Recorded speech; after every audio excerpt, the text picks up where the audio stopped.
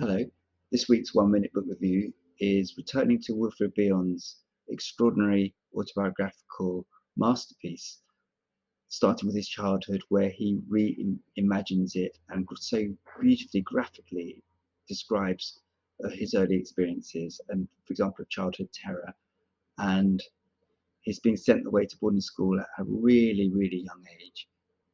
And one wonders whether the roots of much of his capacity to sort of not feel were laid there.